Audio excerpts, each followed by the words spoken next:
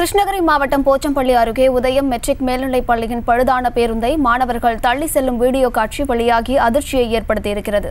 இதுகுறித்தான மேலும் விவரங்களை கொடுப்பதற்காக செய்தியாளர் மூவேந்திரன் இணைப்பில் இருக்கிறாரிடம் பேசலாம். மூவேந்திரன் என்ன காரணத்திற்காக பழுதான பேருந்தை பள்ளி மாணவர்கள் தள்ளி செல்கிறார்கள்? இது தொடர்பாக பள்ளி நிர்வாகம் தரப்பில் என்ன சொல்றாங்க? விவரங்கள்.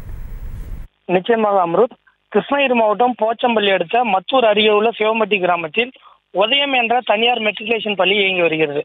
இப்பள்ளியில் சுமார் எழுநூறுக்கும் மேற்பட்ட மாணவர்கள் படித்து வரும் நிலையில் இந்த மாணவர்களின் வாகன போக்குவரத்திற்காக பள்ளியின் மூலம் பேருந்துகள் இயக்கப்பட்டு வருகின்றன.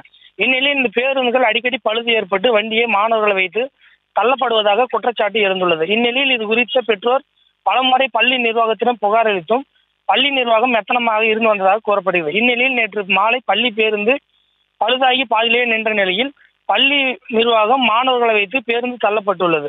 இந்நிலையில் மாணவர்கள் அந்த பேருந்தை தள்ளும் பொழுது அங்கிருந்த ஒருவர் வீடியோ ஒன்றை எடுத்து சமூக வலைதளம் பரப்பி உள்ளார். அந்த வீடியோவானது தற்பொழுது சமூக வலைதளம் வைரலாக பரவி வருகிறது. இது குறித்து தனியார் பள்ளி டிஓ ரமாவதி அவர்களும் தொடர்பு கொண்டு கேட்ட பொழுது நாங்கள் மாதந்தோறும் பிரின்சிபல் மற்றும் ஓட்டுநர்களை அழைத்து வண்டி தரமாக உள்ளதா அதற்கான காப்பீடுகள் சரியாக பராமரிக்கப்படுகின்றதா என்பது குறித்து ஆலோசனை வழங்கி வருகிறோம்.